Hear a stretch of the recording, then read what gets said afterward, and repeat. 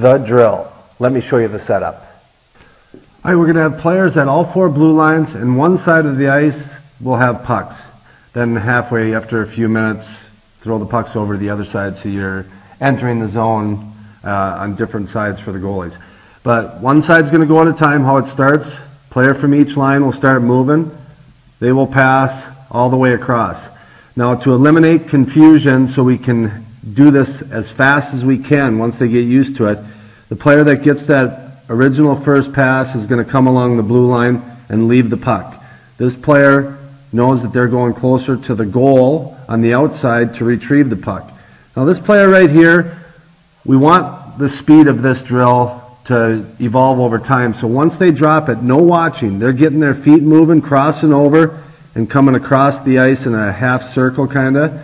This player will retrieve the puck, starts moving up the ice, makes a pass to the player cutting across. She in turn drives wide. This player fills the middle, one more pass, and then a shot. Let's head out to the ice and take a look at it in action. Okay, that pass is made across. That player is going to walk the line, leave it, up the ice, get the return pass, drive wide, pass back, and take a shot. In this example here, we got the player coming hard across what I want. And I'd like her to go a little wider there so there's separation between the two players. And this last example, it's just a great passing drill because you're passing with speed. You got to receive passes. And if you don't, you got to make a hockey play. Hope you like it.